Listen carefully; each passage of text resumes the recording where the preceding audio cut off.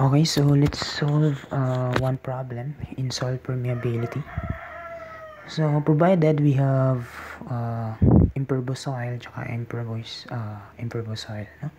then we have this uh, sand layer, then we installed uh, two piezometer okay, at point 1 and point 2. So, find the flow, okay,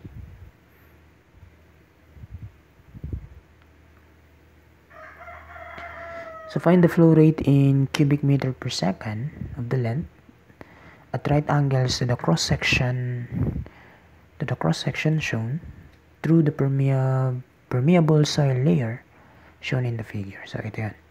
So given yung H natin that is 8 meter. So that is the layer of the impervious layer. And we have the uh, height, the vertical height of the permeable soil layer which is this one yung, yung brown. So that is 3 meter.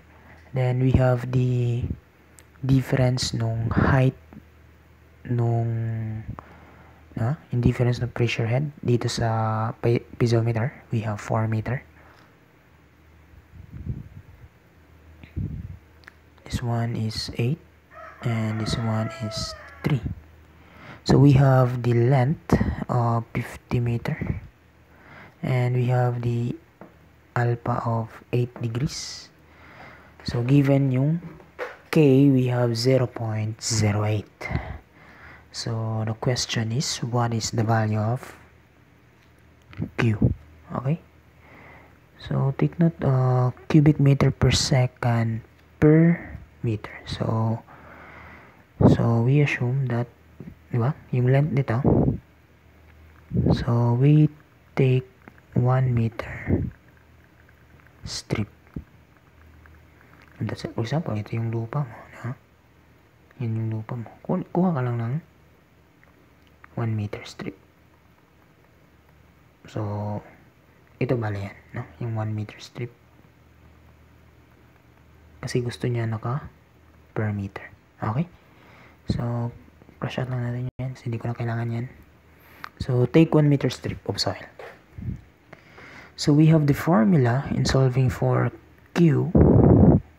So we have uh, area times the velocity or we have area times the Ki.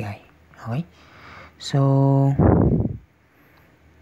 yung I natin, di ba? So, yung kailangan nating makuha, yung I natin is we have h over the length. Pero yung length dito, hindi ito. Hindi ito yung length na gusto nating makuha, di ba? Uh, change ko lang yung ano nito. Huwag na. So, yung length na gusto nating makuha is yung distance na to. Okay? So, yan yung distance na gusto nating makuha. So, since meron tayong length, bali kung ito yung L natin na 50, And then, meron tayong alpha, which is 8 degrees. So, ito yan. Ito yung gusto nating makuha na length. Yan yung gustong, yan yung L ni Darcelo.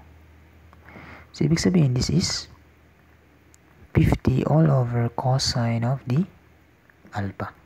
Okay ba? So, I hope klaro yan. So, the H is we have 4 And then, yung length natin is we have 50 all over cosine of 8 degrees. So, okay na yung I natin. Okay?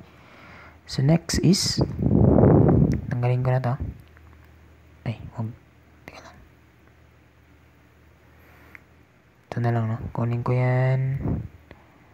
Lagay ko na lang yan dito. Then, next, okay na ako sa I uh, ano pang kulang ko? Okay na ako sa I yung K ko is given. Okay na ako dyan. Yung area. Okay? So since ito yung uh, direction ng flow natin so dapat yung area is perpendicular sa flow. So bali ito yan. Yung gustong ipakuha sa atin.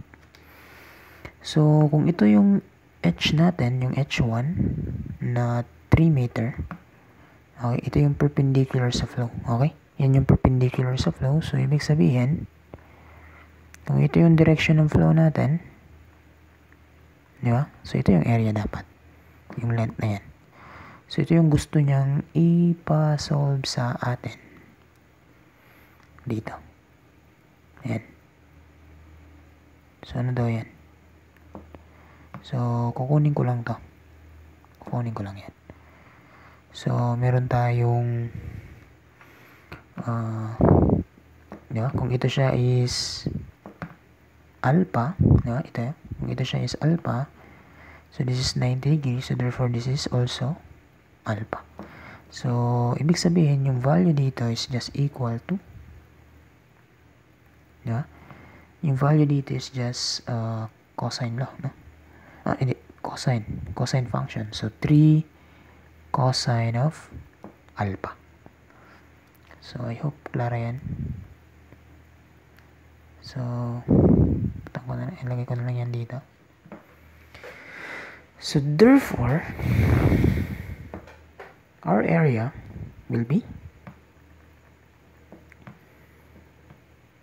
3 cosine of alpha which is 8 degree times 1 meter strip yung ito Ayan, pero wala siyang binigay na diameter eh so ibig sabihin 1 meter strip na lang tayo no? So bali parang malaking uh, soil yan no? so therefore yung flow rate natin substitute ko na lang lahat I have 3 cosine of 8 degrees times 1 meter. So, I'm good to go. K natin is we have 0 0.08 centimeter per second. Gusto niya cubic meter. So, uh, 100 centimeter is 1 meter. Okay? So, I'm good to go. And then next is yung I. We have 4 all over 50 all over cosine of 8. So therefore we have the value of q and that is just equal to 0.19 times 10 to the negative 3 cubic meter per second per meter. Ito na yung sagot. So I think that's it guys for ano for this video. So continue na lang tayo sa next video. Thank you.